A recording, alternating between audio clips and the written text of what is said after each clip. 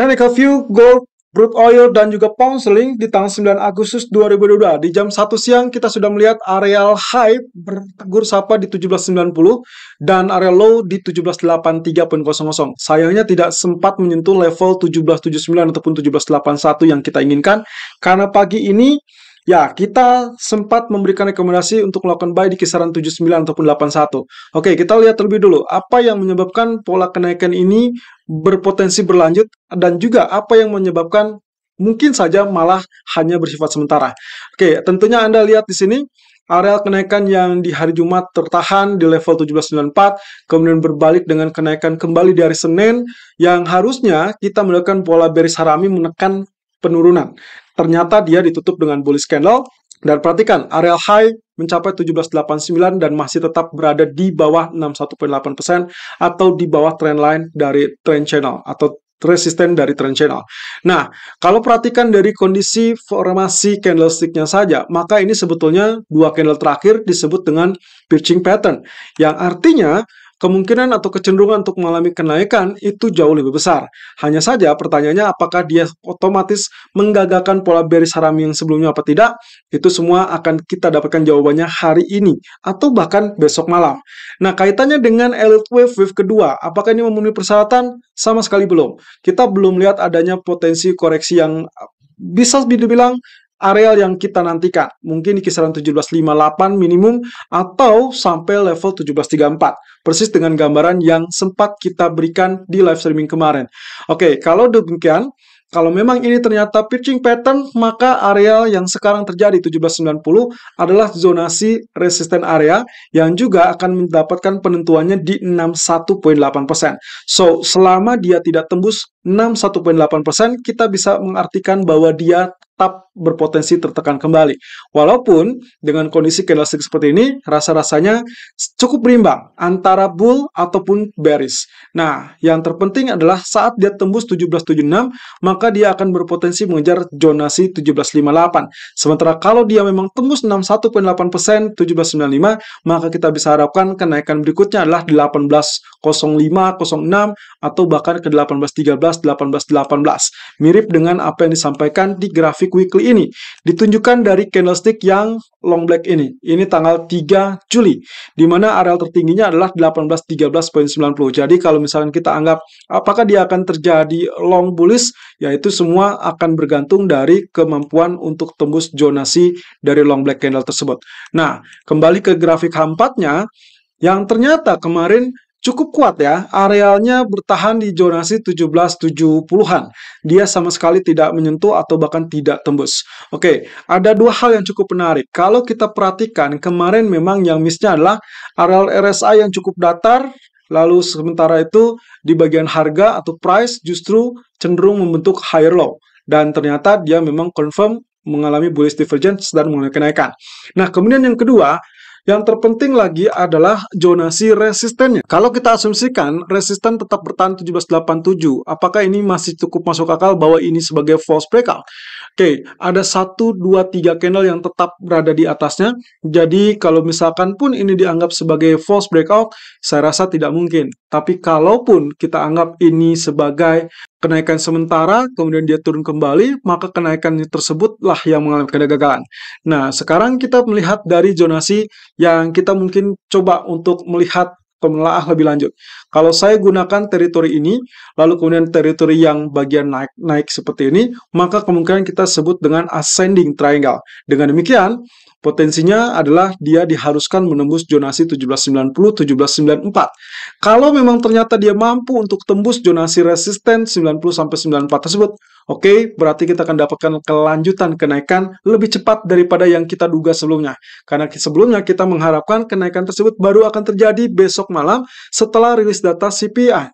So, dengan demikian, Kalaupun misalkan hari ini mengalami kenaikan lebih dulu, maka target dari Fibonacci expansion 61.8% berada di 1801.50. Ini diambil dari pola bottom 1711, kemudian puncaknya 1787, hingga area bottom berikutnya ada di zonasi ini. Oke, berarti kalau misalkan seperti ini, kita harus perbaiki. Ya, ini adalah area bottomnya yang terakhir, swing low di 17.5 ataupun 56. Nah, dengan demikian 61.8%, lalu kemudian 100%-nya. Yang saya rasa areal Fibonacci expansion 100% belum tentu akan disentuh. Jadi, yang paling maksimal adalah kemungkinan kisaran 1801 ataupun 1813 ini. Ya, ini adalah zonasi yang memungkinkan untuk targeting untuk areal kenaikan. Itu pun dengan catatan jika memang dia tidak mengalami penembusan di bawah 1778 atau 1779. Nah, sementara itu di grafik H1-nya, saya cukup menggunakan Fibonacci retracement yang terakhir saja dari pola kenaikan 1771 sampai 1790. Ya, yang kita dapatkan polanya seperti demikian dan tadinya kita berharap antara 50% atau 61.8%. Tapi kalau memang ternyata dia turun hanya sampai 382%, ini berarti menunjukkan pola kenaikan yang masih cukup kuat. Oke, untuk berikutnya, apakah dia mampu untuk tembus 1790? Ya, kita tinggal tunggu saja. Kalau memang ternyata dia tembus 1790, Anda diperkenankan untuk follow buy dengan target terdekat adalah 1794 atau 1795 dan target berikutnya ada di kisaran 1801. Atau Anda tinggal tarik saja Fibonacci expansion dengan asumsi bottom terakhir adalah di zonasi penurunan tadi pagi 1783. Oke, saya tarik dari titik ini menuju titik ke puncaknya 1790 dan bottomnya adalah 1783 tadi. Maka yang akan saya dapatkan expansion 61.8% terdekat adalah 1794 persis dengan area resistennya dari historical price. Kemudian target berikutnya, kalau memang ternyata dia berhasil tembus lagi, 100% adalah 1802. Si confirm seperti apa yang tadi kita gambarkan di grafik H4-nya. Kalau memang ternyata ini adalah ascending triangle, maka target terdekat berikutnya hanya bercokol di kisaran 1794, lalu kemudian 1802. Kita belum akan melihat 1813 atau bahkan di atasnya. Karena market diperkirakan masih tetap menjaga karena mereka tidak ingin agresif sebelum data CPI dirilis. Oleh karena itu, strategi pertama di pagi hari tadi idealnya 1779 ataupun 1781 atau kurang lebih ada di kisaran FR 50%, Anda diperkenankan untuk melakukan buy atau strategi kedua, kalaupun misalkan ternyata tembus 0% 1790 per 50, Anda boleh follow buy atau kalau memang Anda sudah melakukan buy, Anda boleh hold posisi buy tersebut dengan potensi target adalah 1794 sampai 1802. Kemudian, kalau misalkan ternyata dia turun di bawah 61.8%, artinya di bawah 1778, itu berarti Anda diperkenankan untuk switch ataupun menukar posisi Anda, lakukan follow sell. Sementara itu, untuk pound sterling sendiri mengalami kegagalan untuk kenaikan ataupun bahkan penurunan.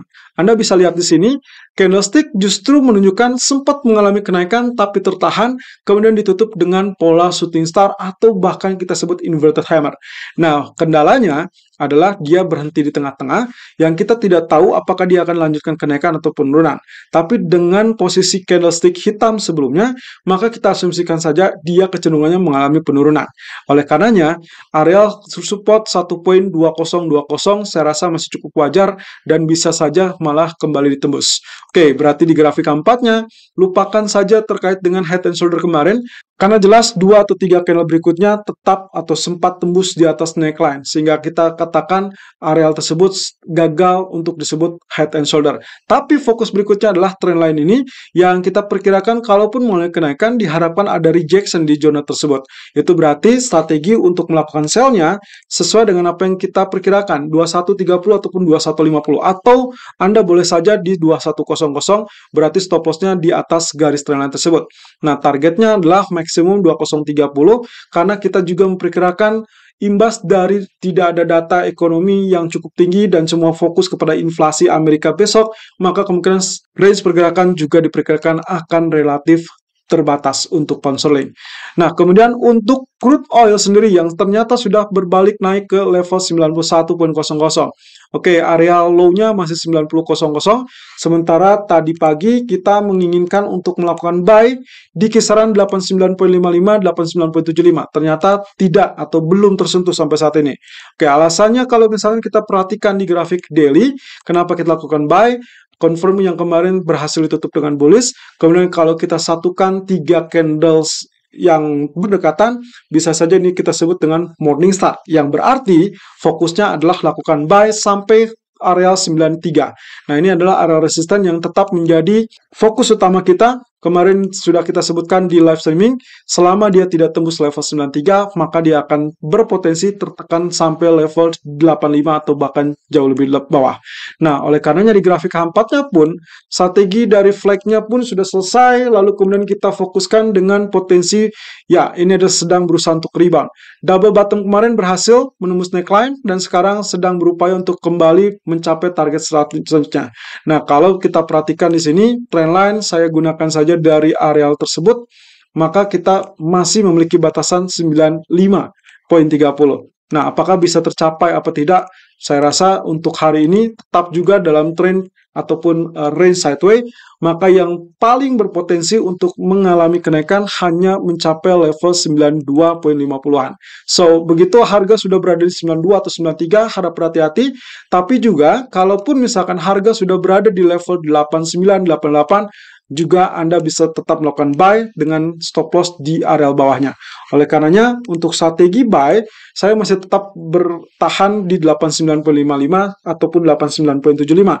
Stop lossnya saya gunakan di 88.55. Nah, kalau misalkan ternyata sudah naik lebih dulu ke 93 atau 94, maka berhati-hati, mungkin saja dia akan terjadi rejection untuk kembali tertekan di level 90. So, sideway untuk semua market diperkirakan masih tetap akan berjalan setidaknya sampai rilis data CPI besok malam. Selalu gunakan stop loss dan risk management sesuai dengan equity dan strategi trading Anda. Irfan untuk Agrodana.